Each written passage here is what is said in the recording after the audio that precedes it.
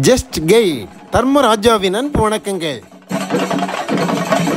கன்னியாகுமரி மாவட்டம் முக்காடு செவிடன் விளை அம்மன் ஆலய பால்குட ஊர்வல அழகை கண்டு